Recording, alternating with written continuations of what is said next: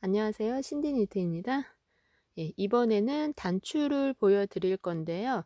어, 골드 단추 엄청 많이 좋아해 주시거든요. 그래서 굉장히 잘 나가는데, 예, 이제 여름 옷은 약간 사이즈가 작은 게 좋을 것 같아서 사이즈를 약간 줄였고요. 실버를 추가를 했습니다. 그래서 기존의 거가 2cm짜리 예. 근데 이 2cm짜리도 팔고 있으니까 2cm짜리가 좋으신 분들은 이제 옵션에서 선택을 하시면 돼요. 그리고 지금이 예, 1.8cm. 그러니까 이 정도 차이.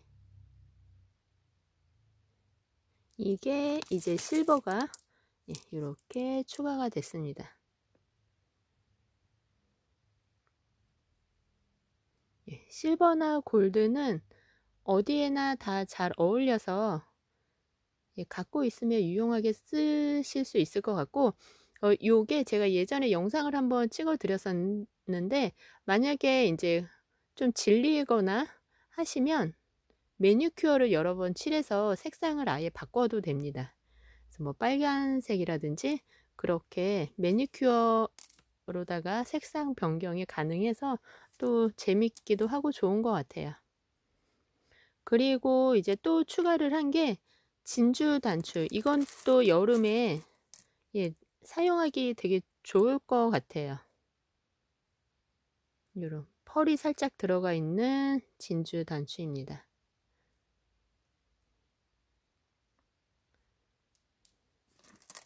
이거는 이제 1.5cm인데 1.8cm짜리하고 비교를 하면 이 정도 차이.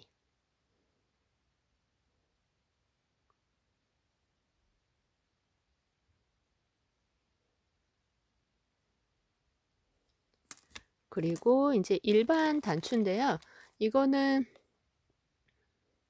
예, 2cm짜리 곤색, 진한 곤색에 약간 그라데이션이 예, 살짝 들어가 있습니다. 굵기는 이 정도 되고요.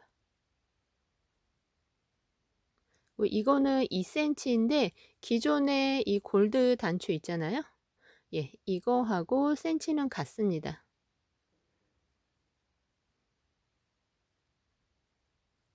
그래서 일반 단추가 필요하신 분들은 이것도 여름이나 간절기에는 예, 좋은 것 같아요. 감사합니다.